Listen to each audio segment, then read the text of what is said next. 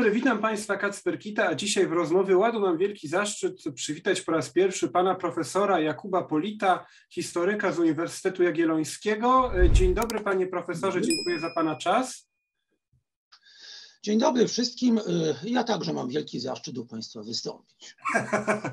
No ja jest, bardzo się cieszę, że się udało, ponieważ czytałem kilka książek pana profesora i bardzo mi się podobały. Książka, biografia Chiang Kai-sheka, którą wszystkim Państwa polecam. Polecam też Państwu mocno e, książkę o polityce zagranicznej e, Japonii z lat 95-1845. Do tych, czy, czy, czy, czy stary już co prawda, ale stale aktualny szkic Smutny kontynent, gdzie, te, gdzie jest e, o Chiang Kai-sheku, o o, później też mm, pan profesor popełnił większą biografię o Hirohito, ale też na przykład o Douglasie MacArthurze, o, o admirale Tojo. Nie, nie, admir, nie, tak, on był admirałem, tak? Nie, czy generałem? O generale Tojo, tak. Generale Tojo, generale Tojo. I, e, no i też chociażby o, o, o rzezi w Nankinie, o tych bardzo ciekawych, mało w Polsce znanych czasem e, dziejach, wydarzeniach z historii Azji, Azji Wschodniej w XX wieku. E, I Przeważnie ponury. Tak, przeważnie ponurych, no ale sama, sama książka się nazywała Smutny kontynent. A dzisiaj, dzisiaj pana profesora chciałem, za, e, z panem profesorem chciałem porozmawiać, zapytać go o temat bliski, myślę, wszystkim naszym słuchaczom lub prawie wszystkim i aktualny, boleśnie aktualny, ponieważ kilka dni temu w, e, w Chinach aresztowano e, kardynała Zena, takiego no chyba najbardziej znanego przedstawiciela chińskich katolików, e, czy, czy duchownego, bardzo charyzmatycznego, bardzo cieszącego, budzącego bardzo duży szacunek. E, I, no i z tej, z tej sytuacji chciałem zapytać pana profesora, skąd właściwie wzięło się chrześcijaństwo w Chinach, bo to jest, myślę, dla nas, dla, dla słuchaczy zupełnie nieoczywiste. Jak właściwie tak daleko nasza religia, nasza kultura też za pośrednictwem religii zaczęła się w Chinach pojawiać? Odpowiedź nie będzie wcale dziwna, prawda? Skąd się wzięło, prawda? Z Ziemi Świętej od uczniów Jezusa Chrystusa. Nie wiem, czy sobie uświadamiamy, ale wszyscy właściwie apostołowie, oprócz jednego świętego Piotra, wyruszyli poza granicę ówczesnego cesarstwa rzymskiego, prawda? Nawet jeżeli zginęli na jego obszarach, to każdy z nich miał przynajmniej epizod, a większość nie, prawda? Że podążyli dużo dalej, a święty Tomasz, zwany w Indiach Tomanem, prawda, dotarł rzeczywiście jak najdalej, y, rozpoczynając, y, rozpoczynając burzliwe, prawda, ale nigdy nie przerwane dzieje chrześcijaństwa w Indiach. Owszem, żaden z pierwszych uczniów Chrystusa, bo przecież było ich znacznie więcej niż 12 czy też 72, o których słyszymy, o ile wiadomo na obszar dzisiejszych Chin nie dotarł, tutaj trzeba zrobić poprawkę, że ówczesne Chiny były mniejsze od dzisiejszych, prawda, i tereny Azji Środkowej, w takiej ogromnej mierze, w jakiej dzisiaj przynajmniej formalnie i na mapie należą do Chińskiej Republiki Ludowej, do ówczesnych Chin nie należały. Ale mocne dowody na obecność chrześcijan to już V-VI wiek ery chrześcijańskiej. To są ludzie, którzy przybyli z obszarów e, Cesarstwa Perskiego, gdzie znajdowały się gminy chrześcijańskie już w zasadzie od początku od czasów apostolskich, z tym, że był to odłam e, tak zwany nestoriański, który nie do końca był odłamem ortodoksyjnym. Pamiętajmy jednak, iż z powodu ogromnych odległości dowiedzenie się, jaka jest e, obecnie e, linia kolejnych poszczególnych soborów była rzeczą trudną, a nawet niemożliwą. Natomiast w środowisku pogańskim najważniejsze były główne rzeczywiście prawdy wiary. Zaskakuje nas po latach rozmach, z jakim ci pierwsi chrześcijanie działali na terytorium Cesarstwa Chińskiego. Oni dotarli w zasadzie aż do serca cesarstwa, do Xi'anu, do ówczesnej stolicy i wydaje się, że gminy nestoriańskie istniały na terenie państwa chińskiego aż do y, środkowego średniowiecza, być może aż do XII wieku, dlatego że y, Marco Polo, najbardziej obrotny chrześcijanin, który kiedykolwiek zawitał do państwa środka, a przynajmniej najsławniejszy, spotykał chrześcijan na dworze Wielkiego Hana, na dworze e, Wielkiego Hana Kubilaja, założyciela chińskiej dynastii Yuan, aczkolwiek wnuka Chingis Hana i rzeczywiście nawet członkowie rodziny Hana, co więcej po mieczu, czyli mężczyźni, bo wśród kobiet było to bardziej tolerowane, sprzyjali chrześcijaństwu. Wydawało się, że jest to wielka szansa, a w czasach mongolskich, y, kiedy w sposób niezupełnie taki y, bezkolizyjny, prawda, Azja zetknęła się z Europą, niejednokrotnie w sposób bardzo brutalny, y, wydawało się, że powstała łatwa do przebycia droga. Mongołowie słynęli ze znakomitych szlaków i tuż po czasach Marco Polo powstało nawet w Hanbałyku, to jest dzisiejszy Pekin, tak nazywała to dynastia Yuan, arcybiskupstwo, nie biskupstwo, arcybiskupstwo, prawda, z podległą im siecią biskupstw wydawało się, że przyszłość jest znakomita. Stało się jednak inaczej, kiedy y, ponad dwa stulecia później y, Portugalczycy dotarli do Chin w wieku XVI, nie napotkali tam już żadnych chrześcijan. Wydaje się po prostu, że wraz z Mongołami z tych aparatem byli kojarzeni jako y, cudzoziemcy, Zostali oni z Chin wyparci, a ich dzieje w Azji Środkowej, bardzo zresztą ciekawe, dalsze dzieje, nie należą już do historii chińskiej. Kiedy Portugalczycy przybyli tam szukać chrześcijan i korzeni, tak jak mówili, okazało się, że są sami, że muszą zaczynać wszystko od początku. No i jak, się, jak właściwie odnosili się do, e, do chrześcijaństwa cesarze chińscy, y, bo dzisiaj wiemy, że chrześcijanie są raczej prześladowani, ale później, y, no, no, no ale w tym okresie chrześcija, chrześcijanie byli również postrzegani jako zagrożenie dla, y, dla dominujących wierzeń. Chińczycy w sumie nie byli nigdy jakoś bardzo religijni, ale mogli być postrzegani jako zagrożenie polityczne. Jak to wyglądało? Znaczy sprawa była, jak się to ładnie mówi, złożona. Trzeba jednak pamiętać y, mm, z zastrzeżeniem, co możemy mieć na myśli mówiąc Chińczycy. Otóż ówczesni rządzący Chinami cesarze, opytał pan o cesarzy, nie byli Chińczykami, tylko Mandżurami. Był to lud tunguski, zupełnie niespokrewniony z narodowością chińską, z narodowością Han, który miał zresztą swój własny swoje własne pismo zapisywane alfabetycznie, a nie hieroglificznie. Jest to język dzisiaj całkowicie wymarły, co dodatkowo utrudnia studiowanie tamtych czasów. Znajduje się mnóstwo dokumentów w języku mandżurskim, których nie bardzo kto ma czytać.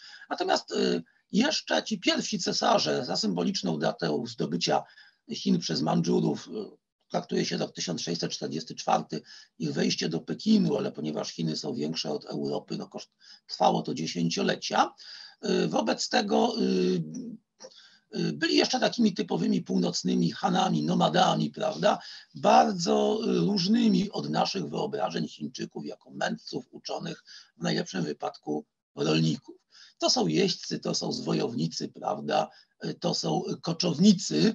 Dopiero na początku XVIII wieku w zasadzie bardzo mocno ta dynastia, ten lud się zchiniszczy, chociaż swojej odrębności nigdy właściwie nie straci.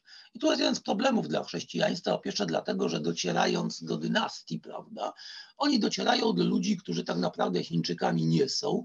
Mało tego, prawda, przed Mandżurami chrześcijanie w dość mocny sposób związali się z ostatnią rdzennie chińską dynastią Ming w ten sposób, że zdołano sobie pozyskać szereg osobistości na dworze tej ostatniej dynastii mingowskiej. Tutaj warto wymienić przynajmniej jedno nazwisko świętego już obecnie, e, Mateo Ricciego, włoskiego jezuity, Mateo Li Matu, prawda, tak go nazywali Chińczycy, który umierając na samym początku XVII wieku, on mówi swoim następcom, iż pozostawiam za sobą y, przed, proszę, oczywiście, pozostawiam wam wszystkim następcom otwarte drzwi, prawda, że drzwi otwarłem, że wystarczy tylko Chińczyków nawrócić, a obowiązująca wśród y, Chińczyków filozofia konfucjańska wydawała się jezuitom w sensie konstrukcji myślowej bardzo podobna do y, filozoficznych wierzeń starożytnych Hellenów i Rzymian, a więc jest to przeciwnik imponujący pod względem filozoficznym, ale dość miałki, prawda,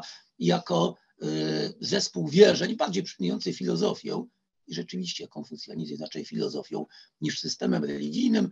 Wydawało się, że w przeciwieństwie od takiego islamu, który polega na kilku, pięciu prawdach wiary, łatwych do wykucia i nieustępliwych, będzie to droga dość prosta.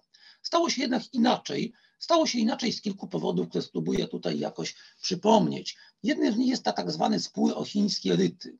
Mianowicie Ricci, podobnie jak jego koledzy jezuici, byli zdania, że aby nawrócić Chińczyków, trzeba się stać Chińczykami w sensie sposobu życia, trzeba się stać uczonymi konfucjańskimi, ubierać się jak oni, przyjmować ich filozofię życiową, sposób jedzenia, sposób myślenia, także sposób postępowania, a więc na przykład obowiązujący każdego konfucjanistę kult przodków. Ricci uważał i w zasadzie miał rację, że nie jest to bałwochwalczy religijny system, który by oznaczał wyrzeczenie się Chrystusa, tylko jest to ceremoniał świecki przypominający być może takie dzisiejsze ceremonie, jak na przykład salutowanie fladze, obnażanie głowy na granie hymnu narodowego, albowiem, jak przekonywali go Chińczycy, zresztą słusznie, nie oczekują oni niczego od Konfucjusza czy od swoich przodków, nie kontaktują się z nimi w znaczeniu teologicznym, że w zasadzie, jeżeli umieszczają na grobach zmarłych y, miseczki z jedzeniem, to zmarli chińscy przychodzą zjadać te miseczki z ryżem wtedy, kiedy nasi chrześcijańscy zmarli przychodzą wąchać kwiaty, tak jak tłumaczył jeden z Chińczyków, a więc nie jest to sposób porozumiewania się z nimi, tylko sposób okazania im szacunku. Czyli, że tędy wiedzie droga. Bardzo długo zresztą było to akceptowane przez stolicą apostolską i osiągano na tej drodze pewne sukcesy. Potem się jednak okazało, że przeciwnicy jezuitów uznali, że chińskie rysy, ryty są otwartą drogą, a raczej budowaniem złotego mostu, żeby wyjść z kościoła i byłoby przesadą utrzymywać, że y, argumentowano tak jedynie ze złośliwości, z nienawiści dla potężnego zachonu. Y, wskazywano bowiem na takie zjawisko, że jeżeli to nie miało już bezpośredniego związku z samymi rytami, ale jeżeli się przetłumaczy pewne chrześcijańskie pojęcie, jak odkupienie, zmartwychwstanie, współistotność ściśle na język chiński, to wówczas mogą powstać wyobrażenia i zjawiska tak odległe od pierwowzoru, że w zasadzie można je komentować swobodnie i y, i pierwowzór jest nie do rozpoznania, do tego stopnia, że kiedy protestanci y, swoją drogą, osobno, prawda, podejmowali próby tłumaczenia Biblii na język chiński, to między tym, co uzyskiwano, a między Biblią katolicką nie było żadnych punktów łącznych. Reasumując, problem polegał na tym, że albo można było użyć istniejących chińskich terminów, uzyskując wtedy rezultat właśnie odległy od pierwowzoru, albo w sposób dosłowny przekładać pojęcia filozoficzne wodzące się nie tyle nawet ze starożytnego Izraela, co z Grecji i Rzymu i w ten sposób, e, w sposób hermetyczny izolować się od wiernych. To raz. Druga sprawa była innego rodzaju. Mingowie zostali obaleni, ale za ich pobitym dworem e, odstępowali jezuici, którzy między innymi nasz rodak Michał Boim podjęli się roli ambasadorów, orędowników, prawda, e, heroldów dynastii Ming w Europie u papieża, ci ostatni władcy, już nie wyliczani w poczcie chińskich cesarzy, pokontrolowali skrawki terytorium, nawet się nawrócili, przy czym cesarz otrzymał znamienne e, imię e, chrzestne Konstantyn, a jego matka imię Helena. Okazało się, że Mingowie byli już zupełnie zgrani, że Boim, który podążył do Europy, do Chin, nie zdążył wrócić, zmarł po drodze, ale na pewno tego rodzaju rekomendacja przegranej sprawy nie była najlepszą wizytówką na dworze Mandżurów. Owszem, jezuici byli doceniani, doceniani byli jako mędrcy, doceniani byli jako specjaliści w takich kwestiach na przykład jak astronomia, zegary, lunety, prawda, umiejętności obliczania czasu, prawda, pewnego rodzaju informacje geograficzne jako kartografowie kreślący mapy świata, zupełnie o tej pory Chińczykom nieznane, tak zresztą określone, żeby państwo środka znalazło się w samym centrum, ale okazywało się, że pod względem religijnym niewiele mają do zaoferowania i wreszcie, prawda, przyszł najsmutniejszy cios z, ze strony zupełnie nieoczekiwanej. Kasata zakonu jezuitów w Europie, nieuchronne wymarcie ojców z Pekinu, którzy zaznajomili wielu Europejczyków, Woltera, Gibbona, z Konfucjuszem, chińskim Sokratesem, ale z zapoznaniem e, Chińczyków z Ewangelią szło im zdecydowanie. Jasne. I tutaj pojawia się, e, pojawia się wydarzenie, myślę, bardzo ciekawe, mało w Polsce znane, e, które myślę, którego myślę nie możemy tutaj pominąć, czyli powstanie typingów.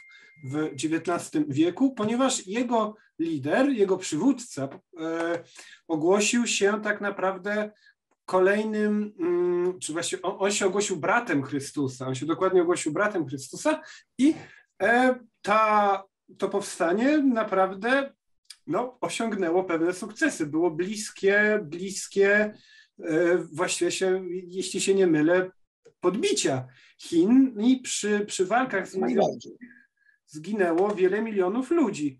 E, być może nawet 20, być może nawet więcej niż w wojnie japońsko-chińskiej w XX wieku. Tylko komuniści przewyższyli skalą zniszczeń liczbą e, zabitych powstanie Taipingów, które jest jednym z najbardziej niewytłumaczalnych wydarzeń w całej historii ludzkości, jeżeli by się chciało rozumować kategoriami czysto racjonalnymi. Albowiem, no, jeżeli rzeczywiście przyznać, że Hong Xiuquan, przywódca powstaniu powstania Taipingów był, prawda, rodzajem męża Bożego, proroka, e, czy nawet Mesjasza, oczywiście nie w tym znaczeniu, jakie chrześcijanie odnoszą do Jezusa Chrystusa, to w takim razie było to dzieło o nadnaturalnych wymiarach. Jeżeli przyjąć, że był kimś w rodzaju antychrysta, Mesjaszem fałszywym, to było to dzieło należące do gatunku opętań demonicznych, natomiast w sposób racjonalny nie jest łatwo wytłumaczyć, w jaki sposób człowiek, który nie miał zbyt wielu możliwości ani zwolenników, człowiek, który kilkakrotnie nie zdał, co prawda niesłychanie wyśrubowanych, tradycyjnych egzaminów, człowiek, który nie był już młody, zdołał w krótkim czasie przekonać do siebie nawet nie miliony, ale dziesiątki milionów ludzi, porwać ich za sobą, porwać ich hasłami będącymi niewątpliwie źle zrozumianym chrześcijaństwem. Trzeba pamiętać, że sam Hong miał o chrześcijaństwie pojęcie dosyć mgliste, y, że doznał on, y, będąc ciężko chory, wizji, które tłumaczył sobie potem, przeczytawszy rzeczywiście streszczenie Biblii uzyskane od jednego z protestanckich misjonarzy, ale niewątpliwie to, co głosili Taipingowie, nazwa pochodzi od Taiping Tien Kuo, niebiańskie królestwo wiecznej szczęśliwości, było pewną wizją chrześcijaństwa i to stanowi dla nas specyficzny materiał do przemyślenia, że nagle mogą w Chinach wyrosnąć dziesiątki milionów chrześcijan właściwie z dnia na dzień. Tak jak niesamowita jest fala powstania Taipingów, która omal nie zatopiła, nie, nie zniszczyła rządzącej dynastii Qing, właściwie wedle wszystkich ludzkich prawda, kryteriów na początku lat 60. ta dynastia nie miała żadnych szans. Tak samo trudno jest, jest zrozumieć niesamowite błędy popełnione przez twórcę i proroka tego ruchu, który po zdobyciu Chin Środkowych, zamiast zdobyć pozostałą mu resztę, y, osiadł na laurach, pogrążył się w kwietyzmie, prawda, i zajął się konsumowaniem tego, co właściwie mu pozostało. Czy był on heretykiem, prawda, czy y, bardzo trudno jest na to pytanie odpowiedzieć, po prostu dlatego, że kolejny fenomen, prawda, polegający o, o, tym ruchu, na początku XX wieku bardzo trudno było cokolwiek się o tapingach dowiedzieć, chociaż najstarsi uczestnicy tego ruchu, znaczy najstarsi ludzie, którzy pamiętali ten ruch, byli jeszcze i żyli wówczas, byli jeszcze jego uczestnikami. Do naszych czasów przetrwało zaledwie kilkanaście egzemplarzy Biblii wydawanych przez Taipingów, religijnych hymnów, prawda, i relacji ludzi z Zachodu, którzy się z nimi zetknęli, Mandżurowie zniszczyli wszystko. Trwa spór, czy rzeczywiście twórca tego ruchu uważał się za brata Chrystusa, e, czyli jakby, prawda, e, boską istotę, czy też pochodzi to tylko ze złego tłumaczenia, prawda, i chodziło mu tylko o to, jakim każdy z nas jest bratem Chrystusa, bo jesteśmy dziećmi Bożymi, prawda? A Chrystus jest synem Bożym. Na ten temat toczy się długa, niekończąca się i w zasadzie dosyć jałowa dyskusja, dlatego że aczkolwiek to źródło trysnęło i o mało nie zatopiło Chin, to całkowicie wygasło. Dla nas interesująca jest o tyle, że twierdzenie, iż w Chinach nie ma filozoficznych, prawda, nie ma kulturalnych kulturalnego podglebia dla chrześcijaństwa i dlatego nie może on, ono nigdy wyrosnąć, no to już raz sfalsyfikowano. Okazuje się, że nie musi to być prawdą. No i to jest bardzo ciekawe, bardzo ciekawe również dzisiaj, kiedy, kiedy widzimy wiele, no formalnie rzecz biorąc, jeśli się nie mylę, chrześcijaństwo jest najszybciej rosnącą religią w Chinach, chociaż no nie ma dużej konkurencji, bo Chińczycy są dość mało religijni. Natomiast zanim przejdziemy do współczesności, chciałem jeszcze zapytać o ten właśnie sytuację na przełomie XIX, w pierwszej połowie XX wieku, kiedy, co mnie właśnie uderzyło, jak czytałem książki pana profesora Polita, jak wielu tych liderów, przywódców, członków elit politycznych i biznesowych tych Chin E, wyzwan, no, tworzących nowe, budujących nowe Chiny po obaleniu Qingów w 1911 roku było chrześcijanami. Tak, Sun Yat-sen, czyli główny tak naprawdę przywódca e, tych nowych Chin, e, chociaż no, zmarł w 25 roku czy czwartym, był chrześcijaninem. No, konwertytą. Chiang Kai-shek był konwertytą chrześcijaninem. Jego o, o, o, żony obu, obu z nich, siostry Song, też były E, konwertytkami. Ich, ich brat e, Song Tseng-wen, e, jakoś tak się nazywał, też, też był chrześcijaninem, jeden z głównych ministrów Changa. Jak wielki to był fenomen i z czego tak naprawdę wynikał? No rzeczywiście jest to zdumiewający przykład, aczkolwiek z jedną poprawką. Obie, dwie, a właściwie trzy siostry Song nie były konwertytkami po prostu dlatego, że się urodziły już w rodzinie chrześcijańskiej, prawda, jednej z najstarszych chrześcijańskich rodzin w państwie środka. Z czego wynikał ten fenomen? W gruncie rzeczy on był dość łatwy do zrozumienia.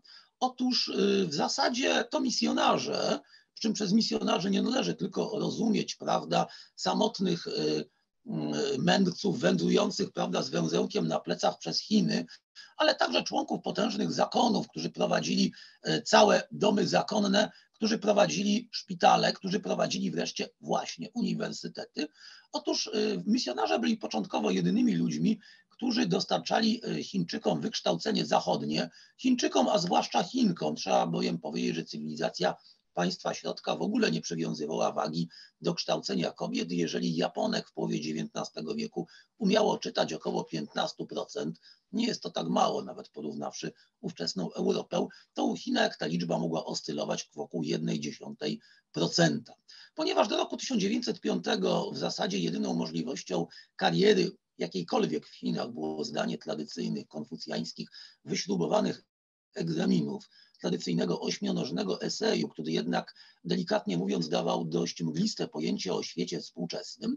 Wobec tego wszyscy ludzie nowocześnie wyedukowani musieli przejść przez prowadzone przez misjonarzy uniwersytety i to nawet wtedy, jeżeli później udałoby się im kontynuować edukację za morzem w Europie lub Stanach Zjednoczonych, dlatego że języka, że podstaw prawda wiedzy musieli się nauczyć wyruszając drogę i otrzymawszy listy polecające właśnie w tychże instytucjach. Dlatego y, największe uniwersytety chińskie były instytucjami par excellence chrześcijańskimi, aczkolwiek trzeba zwrócić uwagę, tylko bardzo niewielka część y, studentów oraz absolwentów była chrześcijanami, czy też się nawracała podczas studiów. Nie ulega jednak wątpliwości, że tą drogą wyedukowani ludzie mieli całkowicie niezłe pojęcie prawda, o religii chrześcijańskiej i o, światopoglądu, o światopoglądzie państw zachodnich. Ponieważ zaś po ustanowieniu Republiki w roku 1911, zresztą zaledwie parę lat wcześniej, w 1905 zniesiono tradycyjne egzaminy, po czym przypomnijmy, za jednym zamachem cały dotychczasowy aparat mm, administracyjny okazał się mało przydatny w nowych warunkach republikańskich. Wobec tego właśnie z tego grona musiał się rekrutować cały, prawda, niemalże establishment przyszłej republiki. I dlatego rzeczywiście taka sytuacja miała miejsce. Wydaje się, że nigdy, łącznie z dniem dzisiejszym, chrześcijanie nie mieli tak wielkiego wpływu na y, politykę Republiki Chińskiej, y, aczkolwiek oczywiście y, byli znacznie mniej liczni niż dziś tylko dzisiaj, delikatnie mówiąc, nie są dopieszczani, prawda? Wtedy Republika Chińska uchodziła za kraj przyjazny chrześcijaństwu, który pod chrześcijanami pod wieloma względami współpracuje. Sun Yat-sen pod koniec życia współpracował, co prawda, ze względów doraźnych politycznych ze Związkiem Sowieckim, ale kiedy umarł w Pekinie i przyjaciele sowieccy zaproponowali jego zmumifikowanie wzorem Lenina, otworzono testament doktora stwierdzono, że jest chrześcijaninem, prawda, że prosi, ażeby odbyło się nabożeństwo, a jego żona zainicjowała śpiewanie psalmów. Chiang Kai-shek, który był szwagrem Sun Yat-sena i podobnie jak Sun nawrócił się w dojrzałym wieku, po dobrym namyśle, prawda, był chrześcijaninem mocno przekonanym co do swojej wiary, czytał Pismo Święte codziennie jak Chińczyk, to znaczy kiedy skończył rzeczywiście y, od deski do deski, od, od prawda, stworzenia świata do apokalipsy świętego Jana stawał pieczątkę na pierwszej stronie Biblii. Po jego śmierci doczeka, doszukano się na jego egzemplarzu roztrzęsionym, zaczytanym podobno 19 tego rodzaju pieczątek. W dodatku już na Tajwanie pod wpływem żony y, zmienił nie religię, ale wyznanie. Z całą pewnością został katolikiem i jako taki został pochowany. Pochowany został z medalikiem y, Matki Boskiej, co byłoby u protestanta na szyi, co byłoby u protestanta rzeczą dość niezwykłą. Taka była prośba w jego testamencie. Jego syn i następca Chang Ching-kuo także był chrześcijaninem, a trzeba powiedzieć, że miał jeszcze ciekawszą drogę za sobą. Młodości, y, którą spędził przymusowo w Rosji bolszewickiej, był komsomolcem, kandydatem do, prawda, do bolszewickiej partii, a jego żona, która po przyjeździe do Chin y, też się ochrzciła, była członkinią Związku Wojujących Bezbożników. Oboje zostali chrześcijanami. Jako matka chrzestna wystąpiła druga żona Chiang Kai-sheka, wspomniana już pani Sung. Tak było i można dywagować, jak wyglądałaby sytuacja Chin, gdyby nie zdobycie władzy przez komunistów. Prawdopodobnie mniej więcej tak jak dzisiejsza Republika Chińska na Tajwanie, gdzie chrześcijanie stanowią mniejszość, ale nie trudno znaleźć ministrów, prawda? Nie trudno znaleźć generałów wyznania chrześcijańskiego. Nie trudno do niedawna było znaleźć wiceprezydent Tajwanu, która była chrześcijanką. Na kontynencie wszystko jednak wyglądało zupełnie inaczej. To niewątpliwie ubiegł pan profesor moje pytanie, bo to jest pytanie, które, które, które się narzuca, kiedy się, kiedy się czyta e, o tym, jak wielu tych chrześcijan było w elitach Republiki Chińskiej, czy w ogóle kiedy się czyta książki pana profesora na temat wojny domowej, na temat Chiang Kai-sheka i tego tragicznego końca jego jego walki o władzę, no bo jak wyglądałyby te Chiny, które byłyby pod wpływem cywilizacji zachodniej, które byłyby pod wpływem naszych prądów kulturowych, chrześcijaństwa, to jest rzeczywiście fascynujące, chociaż no niestety gdybologiczne pytanie. E, no a jak wyglądała, e, jak wyglądało chrześcijaństwo w Chinach ludowych, e, zapewne od samego początku Mao chrześcijaństwo tępił. Pytanie, jak wiele było tego do, e, do tępienia, jeżeli chrześcijaństwo było najpopularniejsze wśród przedstawicieli elit, którzy, jak rozumiem, w znacznej mierze po prostu uciekli razem z Changiem. Było niewesoło, aczkolwiek chciałbym prowadzić pewną poprawkę. Pan powiedział, jak wyglądałyby Chiny, gdyby się dalej były pod wpływem cywilizacji zachodniej, ależ przecież były. Bolszewizm to jak najbardziej twór cywilizacji zachodniej, nie tylko dlatego, że Moskwa jest na zachód od Chin, ale przecież Karol Marx, Niemiec, najbardziej zachodniej części Niemiec, Nadrenii, wymyślił całą tą, prawda, księżycową doktrynę w British Museum, prawda, czyli w całym centrum świata zachodniego. Bez żadnych żartów można uznać próbę bolszewizacji Chin za ostatnią próbę ich zokcydentalizowania, prawda, uzachodnienia, co prawda bardzo szczególnego rodzaju, ale przecież był to ostatni krzyk nowoczesności właśnie w Europie. Oczywiście, prawda, reżim maoistowski jako reżim komunistyczny musiał być wrogi y, Kościołowi i to wszystkim kościołom chrześcijańskim, ba wszystkim religiom zresztą, jakiekolwiek by one były, no, ponieważ y, odwracały one uwagi obywateli od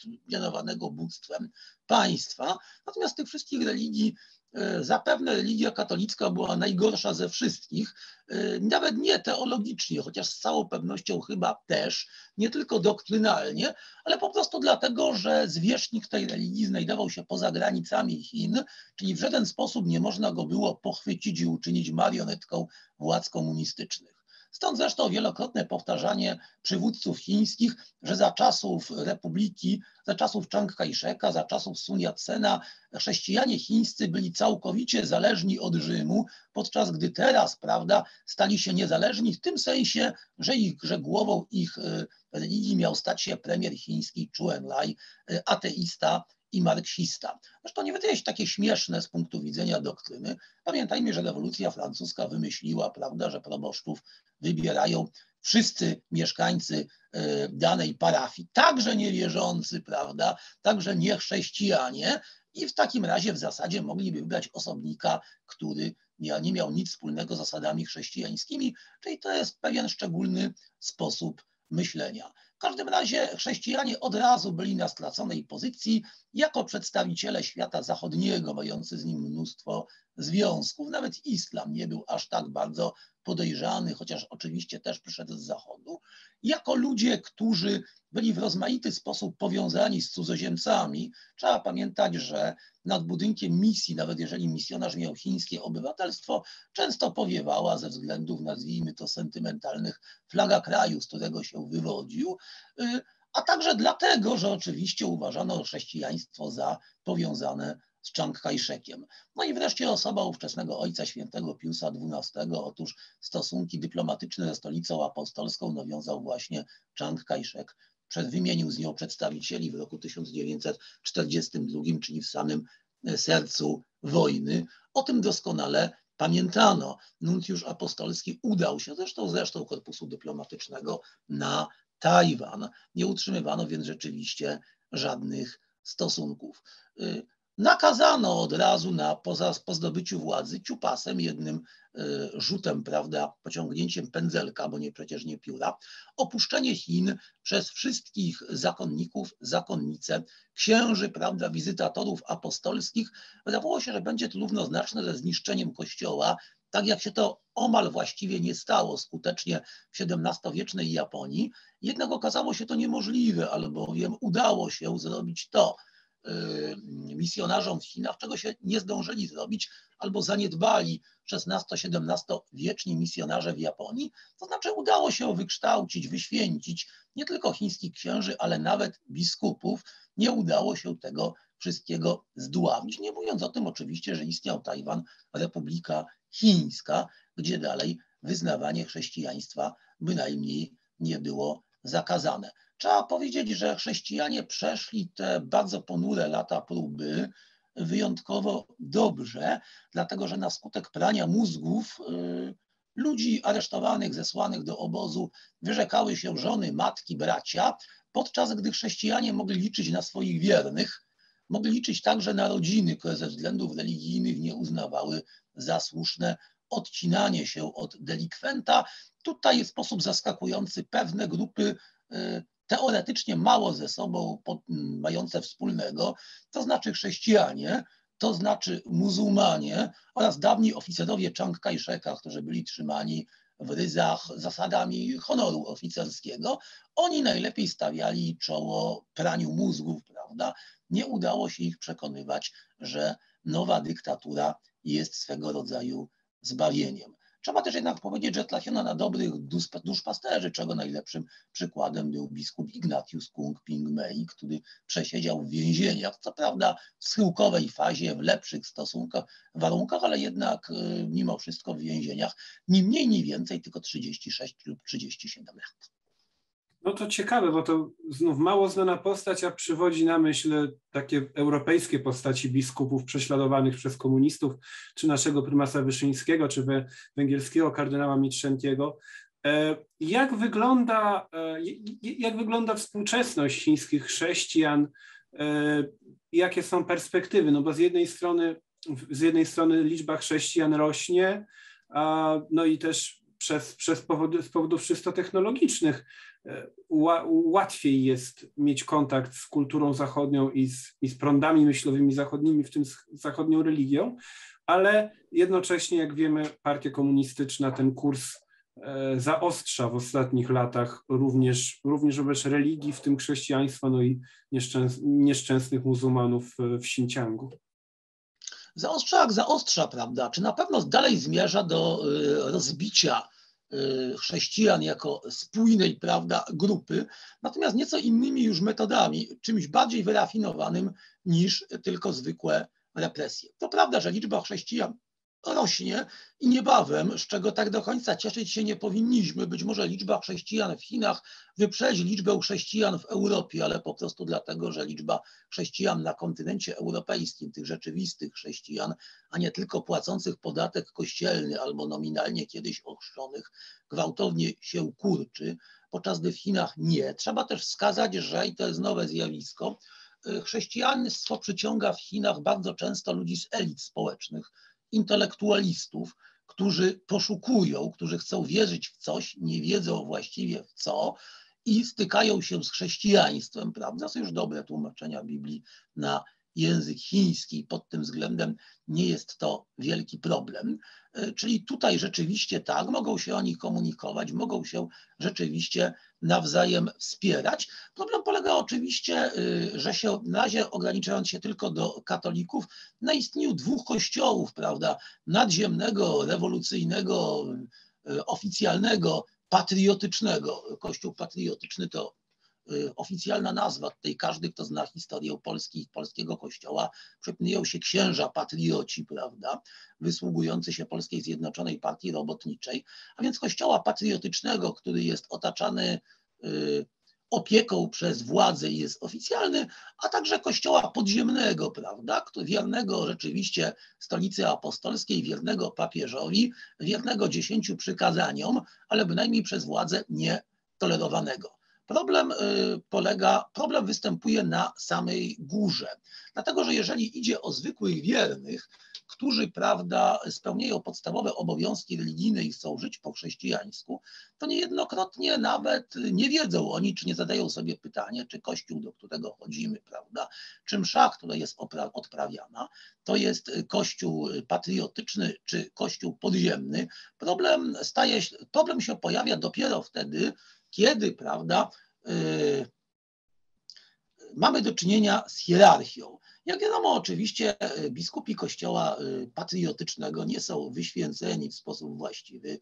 Nie mamy tutaj, nie zachodzi tutaj prawo sukcesji apostolskiej, są po prostu mianowani przez władzę. Nie potrafimy nawet odpowiedzieć, ponieważ, ponieważ oficjalne spisy chińskie nie zawierają takiego pytania, ilu wiernych liczą te owe kościoły i czy kościół patriotyczny jest większy od kościoła podziemnego, czy też nie.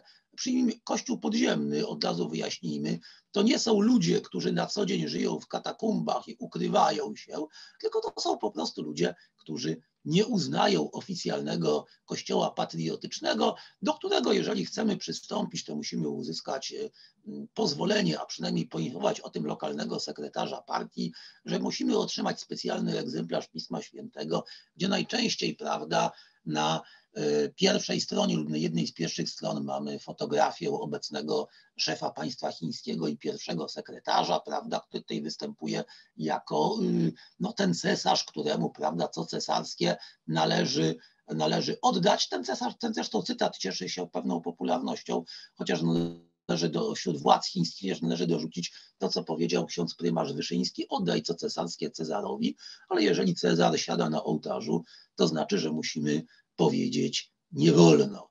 No i rzeczywiście dezorientacja, prawda, yy, przywódców kościoła chińskiego, hierarchów, prawda, obecnym, obecnym yy, kursem stolicy apostolskiej, albowiem yy, najprościej mówiąc, yy, dobre stosunki między stolicą apostolską a Pekinem, to niekoniecznie oznacza to samo, co dobre stosunki między władzami w Pekinie a chrześcijanami. Czasami jest wręcz zupełnie odwrotnie. Bardzo dziękuję. Moim i Państwa gościem był pan profesor Jakub Polit. Jak widać, te, te, ta historia chrześcijaństwa w Chinach jest bardzo ciekawa, bardzo dynamiczna, no i kto wie w przyszłości, już, już teraz mamy dziesiątki milionów chrześcijan w Chinach, o których powinniśmy pamiętać, czy, czy, czy, czy w modlitwie, czy zwłaszcza kiedy są prześladowani, czy po prostu wiedzieć, że istnieją. No ale powinniśmy ich też na pewno mieć na uwadze, jeśli chodzi o przyszłość Kościoła chrześcijaństwa na całym świecie. Bardzo dziękuję. Oni istnieją i być może oni istnieją i być może to oni, prawda, a nie my są przyszłością chrześcijaństwa. Tak, tak, zresztą tak jest, e, tak jest w ogóle. Azja, Afryka to, to, to są te miejsca, w których, w których chrześcijaństwo rośnie i może kiedyś nas biednych, białych pogan będą, będą nawracać, albo, albo któreś pokolenia nas. E, bardzo dziękuję panu profesorowi Politowi. Zachęcam państwa do lektury książek pana profesora Polita, które, które wymieniałem, czy biografii Czankajszeka, czy książkę Carzu Hirohito, e, czy, książ czy innych książek o o Japonii, o Chinach, o Azji w ogóle. E, no i zachęcam Państwa do subskrypcji naszego kanału. Zbliżamy się do 30 tysięcy subskrybentów e, i zachęcam do rozważenia wsparcia naszej działalności. Kacper Kita, bardzo Państwu dziękuję. Do usłyszenia.